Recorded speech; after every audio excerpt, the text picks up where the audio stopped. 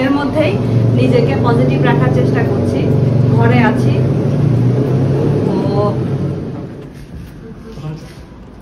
আসসালামু আলাইকুম, কেমন আছেন সবাই? আমরা আলহামদুলিল্লাহ ভালো আছি। আজকের ব্লগটা একদম কিচেন থেকে শুরু করলাম। আমার হাতে দেখতে পাচ্ছেন কিছু একটা জিনিস। এটা ম্যাঙ্গো পাল আমি একটা আম, পাকা আম। এখন বাংলাদেশে আম, লিচু, কাঁঠালের মৌসুম। তো আজকে আমি আপনাদের সাথে পাকা আমের একটা রেসিপি শেয়ার করব। আমরা কম বেশি সবাই পুডিং পছন্দ করি তাই না? আমার তো খুবই পছন্দ। আসো আমার তো খুবই পছন্দ পুডিং আমি খুব পছন্দ করি পুডিং। তুমি পুডিং পছন্দ করো? করো না? লাইক করে হচ্ছে সুইট সুইট লাইক করো? তো পুডিং তো একরকম সুইট পুডিংটা একটা ডেজার্ট এটা তো সুইট একবার খাইলাম পুডিং। হুম তুমি লাইক করো তো।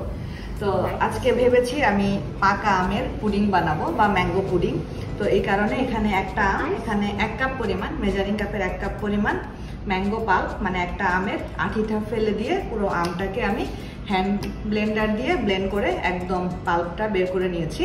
আমরা জুস যেভাবে করি, কোনো পানি দেইনি, যা শুধু পাকা আমটাই। তো এটা বের করে নিলাম। আমি এখন তাহলে পুডিংটা বানাই। পুডিং বানানোর মেন ইনগ্রিডিয়েন্টস কী কী লাগে সেটা আমরা সবাই জানি। ডিম দুধ চিনি একটু ভ্যানিলা এসেন্স আমি আবার একটু গুঁড়া দুধ দিই আর একটু ক্যারামেল করতে হবে এই আর কি। ম্যাঙ্গোটার সাথে যাবে আমি ওভেনে করব আমি নর্মালি পুডিং ওভেনে করি। আর আজকে কোনো রান্না বান্না নেই তো এই কারণেই আমি আরও ভাবছি যে পুডিংটা বানাই আর বাসায় পাকা আমও ছিল তো এই কারণে আপনাদের সাথেও শেয়ার করা হলো। আর আম আমের সিজন যেহেতু আপনারাও খুব ইজিলি বাসায় পাকা আম সবার বাসায় এখন মোটামুটি আছে বানিয়ে ফেলতে পারবেন।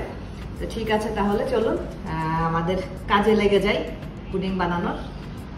অলসো হ্যাঁ বলো। লেমন আইসক্রিম পারব আর লেমন পুডিং বানাইতে পারব। তাই? হ্যাঁ দুইটাই। ও আচ্ছা। আর আমি ম্যাঙ্গো পুডিং বানাতে গেলে আমার ক্যারামেল লাগবে। যেহেতু এটা ক্যারামেল পুডিং হবে, আপনারা দেখতে পাচ্ছেন, এটা এটা একটা বিস্কুটের, এই যে একটা বাটার কুকিজের একটা বক্স আর কি। তো আজকে বিস্কুটটা শেষ হয়ে গেছে, এটা আমি খুব সুন্দর করে ধুয়ে পানিটা শুকিয়ে নিয়েছি। আমি আজকে পুডিংটা এটাতে করব। এটা আমার আজকে পুডিং মোল্ড। তো আমি প্রথমে ক্যারামেলটা করে নিই, সেজন্য আমি এখানে প্রায় দুই চা চামচ পরিমাণ চিনি দিয়ে দিলাম। বেশি গরম হয়ে গেছে। পাত্রটা তো একটু বন্ধ করে রাখছি।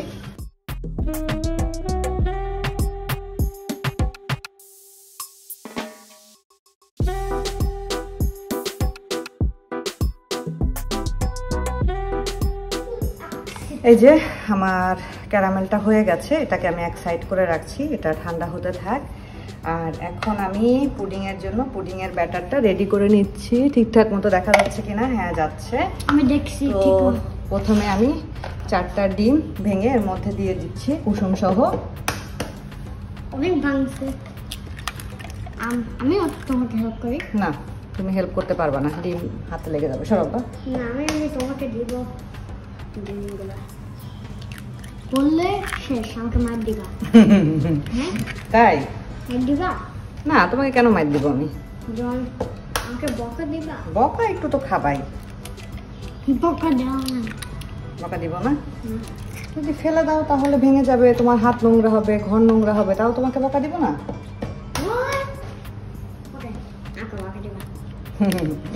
না। এখন তো দিচ্ছি না তুমি এখন কোনো রং কাজ করো নাই তাহলে তোমাকে আমি কেন বকা দিব বলো? রং কাজ করলে আমি আমাকে বকা দিবা। ওয়াও ফোর এগস এটা আমার মাথা ডিপ করে ফেলি। তো এই এগ চারটাকে এখন আমি যে একটা হ্যান্ড হুইচ দিয়ে খুব ভালোভাবে এটাকে আমি ফেটিয়ে নিচ্ছি আর কি। হবে।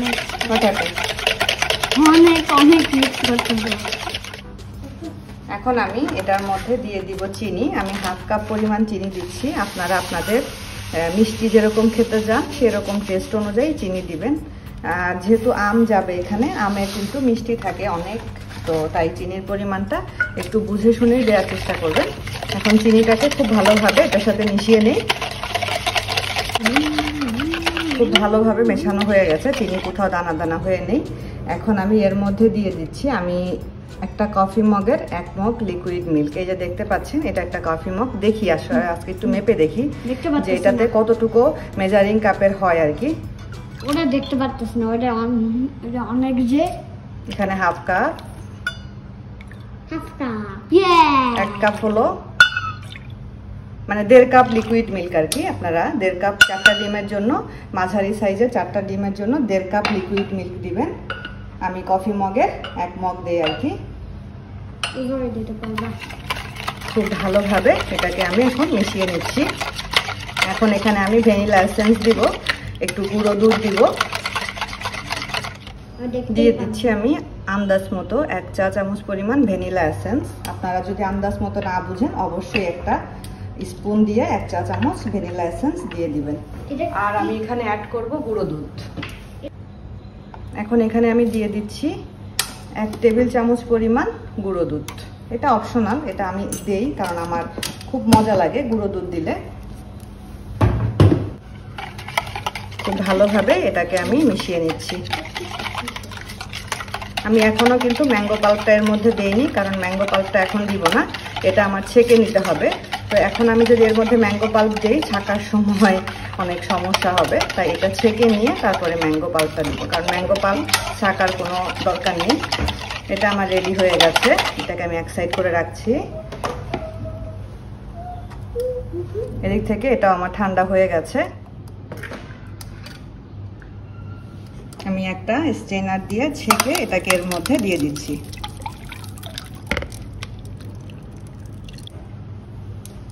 এখন আমি ম্যাঙ্গো পাল্পটা এর মধ্যে দিয়ে দিচ্ছি। দিয়ে খুব ভালোভাবে আমি পুরোটাকে এখন মিশিয়ে নিচ্ছি। আপনারা যদি ইচ্ছা করেন এখানে একটু ফুড কালার অ্যাড করতে পারেন, ইয়েলো ফুড কালার। আমার খুব ভালো লাগে ইয়েলো ফুড কালার অ্যাড করলে। আমার কাছে খুব ভালো লাগে। সুন্দর একটা কালার আসে। তাই আমি মাঝে মধ্যে ইয়েলো ফুড কালারটা অ্যাড করে দিই। একটু ফুড কালার দিই না, এটা আমার পছন্দ। আপনারা ইচ্ছা করলে অপশনাল নাও দিতে পারেন। একটু ইয়েলো এক ফুড কালার দিয়ে দিলাম আমি এর মধ্যে। পাকা ম্যাঙ্গো তো এরকমই কালার হয়, তাই না? তাহলে আরও সুন্দর লাগবে আর কি দেখতে। ওকে রেডি হয়ে গেল। এটা এখন ওভেনে যাওয়ার জন্য রেডি আমি আমার ইলেকট্রিক ওভেনটা দশ মিনিটের জন্য প্রিহিটে দিয়ে দিয়েছি। প্রিহিট হলে দেন এটা আমি ভাপে, গরম পানির ভাপে ওভেনে দিয়ে দিব। যেভাবে আমি নর্মাল পুডিং বানাই। এই তো আমার ওভেনটা দশ মিনিট প্রিহিট হয়ে গেছে। আমি আমার এই ট্রেতে ওভেনের ট্রেতে পানি দিয়ে দিয়েছি, একদম ফুটন্ত গরম পানি। তারপরে এখানে আমি এই যে পুডিংয়ের পাত্রটাও দিয়ে দিয়েছি। এখন ওভেনটা বন্ধ করে দিচ্ছি। এখন আমি একশো আশিতে একশো আশিতে, এটাকে আমি চল্লিশ মিনিটের জন্য বেক করতে দিয়ে দিলাম। ঠিক আছে, হতে থাক তাহলে। আপনাদেরকে ভ্লগের শুরুতে বলেছিলাম, আজকে রান্না বান্না নেই। রান্না বান্না নেই কারণ আমাদের জন্য বিশাল আয়োজন করা হয়েছে এবং অনেক খাবার দাবার এসেছে। যেহেতু আমরা লকডাউনে কেউ কারও বাসায় যেতে পারছি না, কিন্তু খাবার দাবার আদান প্রদান বন্ধ নেই। এই যে এত এত খাবার, অনেক খাবার মাসাল্লাহ এগুলো সব পাঠিয়েছে মিতু। মিতু হলো থাকে আমপাঙে। আমাদের এখান থেকে ভালোই দূরে, আধা ঘণ্টা মতো লাগে। ও হলো একটা ডেলিভারি যে সিস্টেম লালা মুভ মালয়েশিয়াতে আছে এটা। তো সেই লালা মুভের মাধ্যমে আমার, আমাদের জন্য রাশেদা ভাবির জন্য এবং হলো বৃষ্টির জন্য সবার জন্য খাবার পাঠিয়েছে। এগুলো হলো ঈদের খাবার, কারণ ঈদে আমরা তো দেখা হয়নি। তো আজকে অনেক কষ্ট করে ওর ক্লাস আছে, সেই ক্লাসের ফাঁকে ফাঁকে ফাঁকে ক্লাস করেছে দেন খাবার রান্না করে আমাদের জন্য পাঠিয়েছে। পোলাও, সাথে ফিশ ফ্রাই তারপরে রোস্ট বিফ চাইনিজ ভেজিটেবল তারপরে একটা সালাদ সালাদটা খুবই মজা হয়েছিল, আনারস দিয়ে সালাদ করেছিল। তো এগুলো সব পাঠিয়েছে। আর এই যে ছোট্ট বক্সা দেখতে পাচ্ছেন, এটা আবার প্রিন্স আমার জন্য পাঠিয়েছে মানে রাশিদা ভাবি আর কি। ভাবির হলো মিষ্টি বানিয়েছিল মনে হয়, তাই হয়তো ছিল, আমার জন্য একটু পাঠিয়ে দিয়েছে। ভাবি জানে যে আমি মিষ্টি খুব পছন্দ করি। তো এগুলো হলো বিশাল আয়োজন, ঈদের খাবার খাব আমরা আজকে, ঈদের আয়োজন আমাদের জন্য করা হয়েছে। তো মিতু আর ইরফানকে অনেক অনেক অনেক ধন্যবাদ আমাদের জন্য কষ্ট করে, রান্না করে আবার সেটা পাঠিয়ে দেওয়ার জন্য। আসলে বিদেশে বসে যখন এরকম আন্তরিকতা পাই, তখন সত্যি অনেক বেশি ইমোশনাল হয়ে যায় কারণ আমরা দেশেও আসলে এরকম আন্তরিকতা আছে কিনা আমার জানা নেই। কারণ যেহেতু দেশে আমি ওইভাবে সংসার আমার করা হয়নি। আমি তো যা- ছিলাম যতদিন ততদিন আমার শাশুড়ি মার কাছে ছিলাম। আর আলহামদুলিল্লাহ বিদেশে এসে প্রথম থেকেই অনেক আন্তরিকতা পেয়েছি সবার কাছ থেকে। সবার সাথে মিলেমিশে থাকার চেষ্টা করেছি এখনও পর্যন্ত আছি। যতদিন থাকব, ততদিন পর্যন্ত যেন সবার সাথে মিলেমিশে থাকতে পারি, সেটাই চাই। সবার মধ্যে আন্তরিকতাটা থাক, আন্তরিকতা জিনিসটা অনেক বড় কিছু।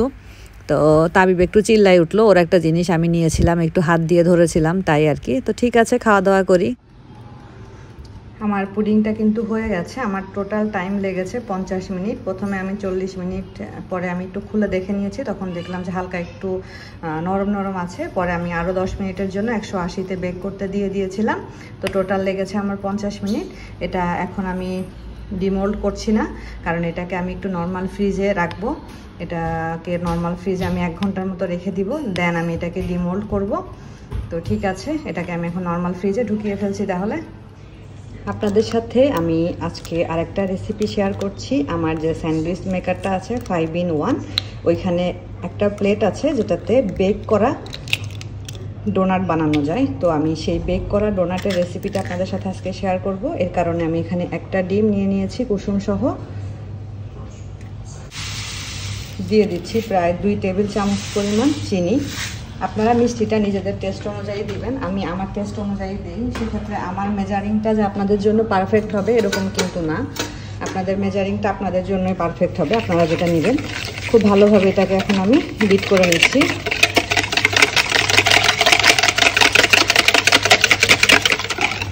খুব ভালোভাবে আমি চিনিটাকে মিশিয়ে নিয়েছি। এখন আমি এখানে লিকুইড মিল্ক দিব। আমি এখানে দুই চা চামচ পরিমাণ লিকুইড মিল্ক অ্যাড করছি।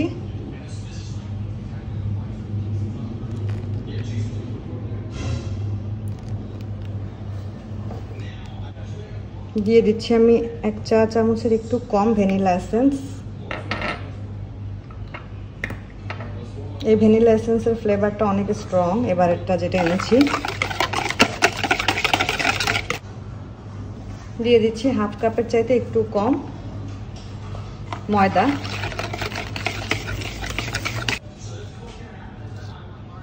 হাফ চা চামচ পরিমাণ বেকিং পাউডার দিলাম।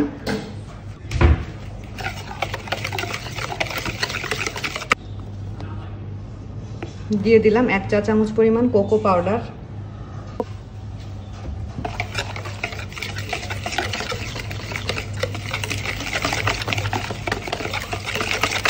যদি কোকো পাউডার স্কিপ করতে চান, তাহলে টোটাল হাফ কাপ ময়দা দিবেন। আমি যেহেতু কোকো পাউডারটা দিলাম মানে এটা একটু চকলেটের মতো ফ্লেভার আসার জন্য, সে কারণে আমি হলো হাফ কাপ ময়দা না দিয়ে, হাফ কাপের চাইতে কম ময়দা দিয়ে এক চা চামচ কোকো পাউডার দিয়ে দিয়েছি।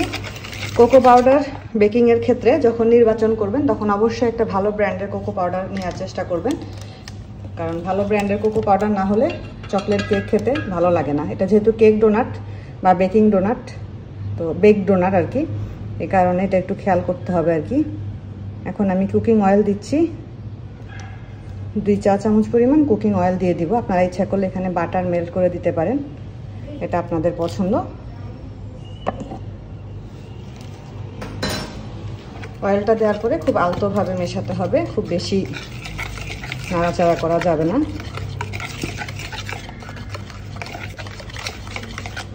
যেহেতু এটা আমি আমার স্যান্ডউইচ মেকারের যে ডোনাটের প্লেটটা আছে, সেই প্লেটটাতে করব, ওখানে কোনো আমি এভাবে করে দিতে গেলে আমার একটু সমস্যা হবে, তাই আমি এই টাইপের এই যে এই যে এরকম একটা ইয়েতে নিয়ে নিচ্ছি, তাহলে আমার এভাবে ঢালতে সুবিধা হবে।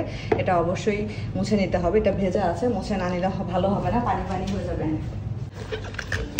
আপনারাও এরকম একটা মানে জগ টাইপের যেটাতে এভাবে সুন্দর ঢালতে পারবেন, এই টাইপের একটা পাত্র নেওয়ার চেষ্টা করবেন। অথবা অনেক সময় দেখা যায় না, আমাদের বাসায় তেলের ডিব্বা থাকে বা সস পট থাকে, ওরকম সস পট বা তেলের ডিব্বাতে নেওয়ার চেষ্টা করবেন।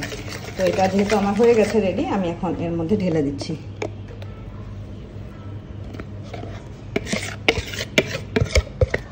এখন আমি আমার এই স্যান্ডউইচ মেকারটার প্লেটটা চেঞ্জ করব। ওদিনকে একটা আপু আমাকে কমেন্ট করেছিল প্লেট কীভাবে চেঞ্জ করে দেখানোর জন্য। এই যে এখানে একটা সুইচ আছে দেখতে পাচ্ছেন। এটাকে এভাবে করে ইয়ে করলেই প্লেটটা খুলে যাবে। এই যে প্লেটটা খুলে গেল। এখন আমি আমার সেই ডোনাটের প্লেটটা লাগিয়ে দিচ্ছি, এই যে দুই জায়গায় দুইটা মানে হুক আছে। এই হুকের মধ্যে এই যে দুইটা এখানেও হুক আছে, দুইটা এভাবে দিয়ে এই যে এটা ছেড়ে দিলে আমার প্লেটটা লেগে গেল। উপরেরটাও সেমভাবে চেঞ্জ করতে হবে। এই উপরেরটা দেখানোর কিছু নেই। আপনারা ইচ্ছা করলে এগুলোতে হালকা একটু তেল ব্রাশ করে দিতে পারেন, যাতে করে মানে ডোনারটা তোলার সময় ইজি হয় আর কি। আমি হালকা একটু তেল ব্রাশ করে দিলাম। এখন আমি এটা দিয়ে দিচ্ছি। খুব সুন্দর করে দেওয়ার চেষ্টা করতে হবে। আর বেশি দেওয়া যাবে না এটা ওভারফ্লো হয়ে যাবে। এমনিতে এটাতে বেশি পড়ে গেল। এত বেশি দেওয়া যাবে না, যেহেতু এটা ছোট ছোট। এটুকু দিলেই এনাফ এটা থেকে একটু তুলে নেওয়ার চেষ্টা করি, না হলে দেখা যাবে যে ওভারফ্লো হয়ে চারোদিকে ছড়িয়ে যাবে। ঠিক আছে, এটা এখন বন্ধ করে দিচ্ছি। এখানে টাইমার দেওয়া আছে। আমি দশ মিনিটের জন্য দিয়ে দিলাম। সুইচটা অন করে দিলাম। এই যে লাইট চলে গেছে। ঠিক আছে, হতে থাক তাহলে, দেখা যাক কেমন হয়। শেয়ার করব আপনাদের সাথে ইনশাল্লাহ এই যে, আজকে এইজন এইজন খুবই দুষ্টামি করছে। তার চোখে ঘুম নাই। তাকে কোলে নিয়ে হাঁটতে হবে। সকাল থেকে এসে আজকে ঘুমের কোনো লক্ষণই নাই। আধা ঘণ্টা করে কোলে নিয়ে হাঁটার পরে দশ মিনিট ঘুমানোর পরেই উঠে যাচ্ছে। এই, তোমার সমস্যা কি? এই ছেলে, সমস্যা কি? হ্যাঁ? কোনো কথা নাই বার্তা নাই, এরকম কোলে উঠে ঘুরতে খুব মজা না? হুম, খুব মজা। এটার টাইমারটা মানে এটা হয়ে গেছে টাইমার বন্ধ হয়ে গেছে। এখন খুলে দেখি কি অবস্থা। বিসমিল্লাহ। ওয়াও একদম সুন্দর মতো হয়ে গেছে। তো শান তোমার? Wait, wait, shut এই যে আমাদের ছোট্ট ডোনাট। বাহ। এই যে ছোট্ট ডোনাট হয়ে গেছে আমাদের। তুলে ছোট্ট নিচ্ছি। বেবি ছোট্ট বেবিটার জন্য? ছোট্ট দুইটা বেবির জন্য। ছোট ডোনা ছোট ছোট। ছোট ইয়ে হয়নি যে? হ্যাঁ এই যে মাঝখানে এই যে এই যে। ও আচ্ছা আচ্ছা আচ্ছা। তুমি যদি ই করে দাও। ওই যে ওইটার হ্যাঁ এটা এরকম করে দিলে হয়ে যাবে? এই যে ও আচ্ছা আচ্ছা। হালকা লাগে আছে। এই যে এই যে। হ্যাঁ। হয়ে গেল তোমার। ফুল লাগতেছে। Mini donut. আর খাব? এটা কি খাবে বাবা? এটা আমার মিনি ডোনাট আর তাবিবের মিনি ডোনাট। তোমার? এই যে ছোট ছোট ডোনাট। আর আমার? আরও বানাবো আরও কতগুলো বাকি আছে। তো ঠান্ডা হলে তোষান খাবে তোষান খেয়ে রিভিউ দিবে ইনশাআল্লাহ। আগে এই তো তোষান খাচ্ছে আমার মোটামুটি সবগুলোই বানানো হয়ে গেছে। তো তোষানের খাওয়া শেষ হোক তারপরে তোষান রিভিউ দিবে। একটু দেখাও তো আব্বু ভিতরটা কেমন হয়েছে একটু দেখাও তো। হুম ধরে রাখো ধরে রাখো এদিকে ধরে রাখো হ্যাঁ। ইয়ামি হয়েছে অনেক। এখন তোষান পুরাটা খেয়ে রিভিউ দিবা না এখনই বলবা? ইয়ামি হয়েছে অনেক। তুমি লাইক করছ? কত লাইক করছ? I like a lot. তোমার বেবি তো খায় না। কেন খায় না বেবি আই ডোন্ট নো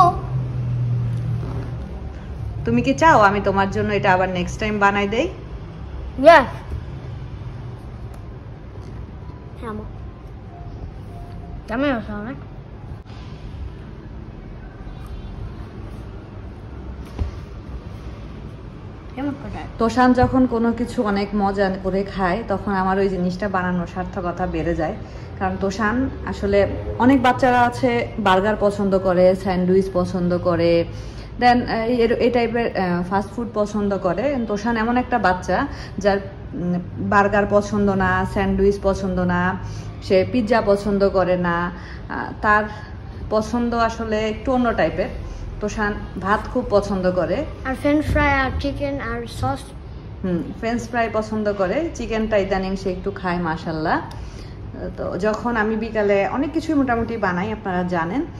আমার সব সময় চিন্তা থাকে যে ওদেরকে আমি একটু মানে কিছু বানিয়ে খাওয়াই। আমার রান্না করতে আমার খুব ভালো লাগে। তো যখন তোষান কোনো কিছু এরকম আগ্রহ করে খায় আমার এত ভালো লাগে সেটা আমি বলে বোঝাতে পারব না।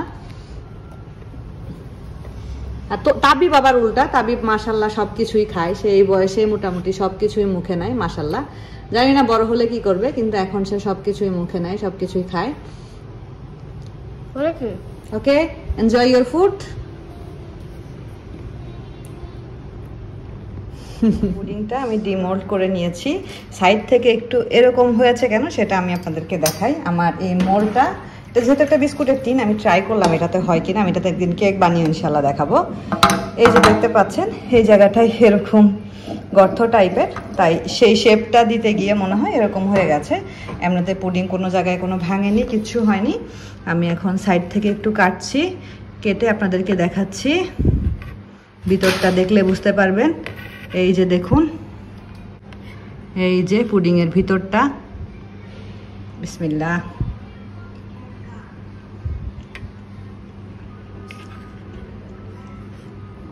আলহামদুলিল্লাহ। পুডিং খুবই মজা হয়েছে।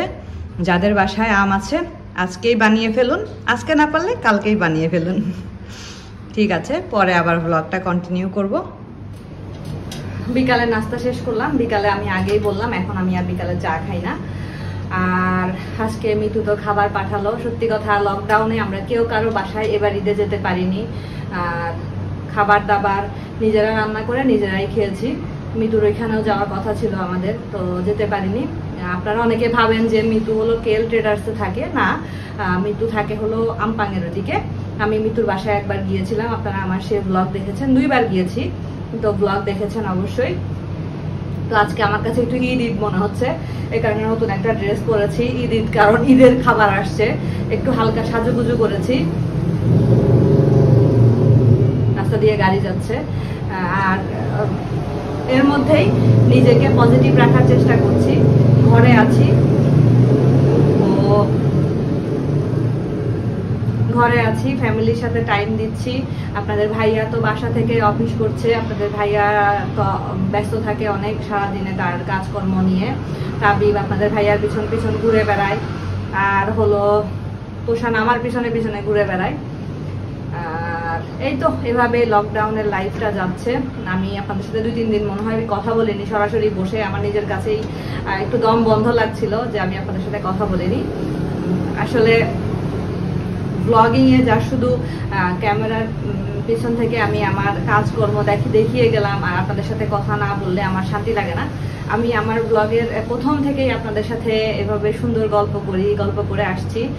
তিন বছর হয়ে গেছে আমার ব্লগিং লাইফের আজ যতদিন ব্লগিং এ আছি। আমি সব সময় আপনাদের সাথে গল্প করব হাসি, আনন্দ সবকিছু মিলিয়ে আপনাদেরকে সাথে নিয়ে আমি সামনের দিকে এগিয়ে যাব ইনশাল্লাহ লাইফে অনেক রকমের বাধা আসবে, তো সেই বাধাগুলো ওভারকাম করতে পারলে, কারণ নিজের লাইফের যুদ্ধ নিজেকেই করতে হয়। তো আমি এই জন্যই বললাম, কারণ মাঝে মধ্যে কিছু কিছু এমন এমন কমেন্ট আসে। আমি আসলে নিজে নিজেই পড়ি আর নিজে নিজেই কমেন্টগুলো নিয়ে হাসি আর কি। আর ইদানিং আমার আম্মুকে আমি একদমই পাচ্ছি না, কারণ আম্মু প্রচুর ব্যস্ত। আর আমাদের যে বাড়িটা দেখছেন, এই একতলাটা যতটুকু করতে পেরেছে বা যতটুকু আমাদের তৌফিক আল্লাহ দিয়েছে করার, পুরোটাই তো আব্বু বেঁচে থাকতে করে গেছে। আর ওইটার সময়ও আম্মুকে অনেক কষ্ট করতে হয়েছে। ওইদিনকে আমি কিছু পুরাতন ছবি দেখছিলাম। তো ছবিতে হলো আব্বু আমাদের বাড়ির যখন মানে আরসিসি পিলার নিচ থেকে গাড়া হয় তখন আব্বু ওইখানে দাঁড়িয়ে ছবিগুলো তোলা, আব্বু ওখানে দাঁড়িয়ে আছে। তো আব্বু নিচতলা করে গেছে ভাইয়া দোতলা করছে। আমার কাছে খুবই ভালো লাগছে, সত্যি কথা, খুব ভালো লাগছে। হয়তো বা দেশে গিয়ে ইনশাল্লাহ দোতলাটা পুরা দেখতে পাবো। তো কাছের মানুষের কোনো কিছু সফলতা দেখলে বা কাছের মানুষদের কোনো ভালো কিছু দেখলে আমাদের কাছে সবারই ভালো লাগে। সেটা ভাই হোক, সেটা বোন হোক, সেটা যে কোনো আত্মীয় স্বজন হোক না কেন। আমি চাই সবাই সবার জায়গা থেকে সফলতা অর্জন করুক। যে যেভাবে নিজেকে দাঁড় করাতে চাচ্ছেন, সে সেভাবেই নিজেকে দাঁড় করান, কোনো সমস্যা নেই। আর আজকে হালকা একটু সাজুগুজু করেছে যে বললাম, আজকে একটু ঈদ ঈদ মনে হচ্ছে।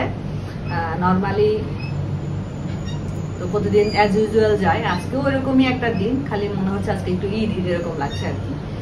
তো আমার যেসব আপু ভাইয়ারা আছেন, যারা আমাকে অনেক পছন্দ করেন, যারা আমাকে সেই প্রথম থেকে ভালোবেসে আসছেন, আপনাদের ভালোবাসা ঋণ আমি কখনোই শোধ করতে পারব না, কারণ আপনারা আমার সুখের সময়ও ছিলেন, আমার দুঃখের সময়ও ছিলেন, এখনও আমার সাথে আছেন। তারাই হলো প্রকৃত বন্ধু বা তারাই হলো প্রকৃত ভালোবাসার মানুষ, যারা সুখ, দুঃখ দুইটাতেই সাপোর্ট করতে পারে। আমি সুখের সময় থাকলাম, আমি দুঃখের সময় থাকলাম না, তাহলে সেই বন্ধু, সেটা অরিজিনাল ফ্রেন্ড না বা সেটা অরিজিনাল বন্ধু না। তো সবাইকে অনেক অনেক ভালোবাসা সবার জন্য। আজকে অনেক দিন পরে আপনাদের সাথে কথা বললাম। আমার নিজের কাছেও খুব ভালো লাগছে। আমি আজকে আপনাদের সাথে দুইটা রেসিপি শেয়ার করেছি। কেমন লেগেছে অবশ্যই জানাবেন। আমাদের জন্য দোয়া করবেন, আমার পরিবারটার জন্য দোয়া করবেন, আমার বাচ্চাদের জন্য দোয়া করবেন। এই তো, আজকের মতো আপনাদের কাছ থেকে বিদায় নেই তাহলে। আল্লাহ হাফেজ।